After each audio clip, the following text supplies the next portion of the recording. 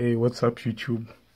Ever since the Mario Run game came out a few days ago, there have been some complaints I've been hearing where people, some people have been having problems getting the in-game sound to, to work while they're playing the game.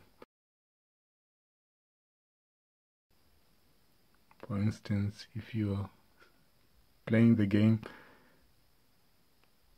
everything works perfectly, but the sound just doesn't come through. In this short video, I'm, I'm going to show you what is the cause of this and how to quickly solve this problem. Let's just put it on pause. And so most of the time this is caused by having the ringer button on off.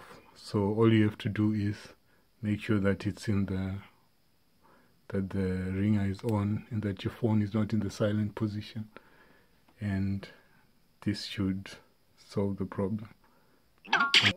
Well i hope that helped you and if it did leave a like uh, below and if you'd like you can also subscribe and uh, i'll catch you in the next video. Have a nice day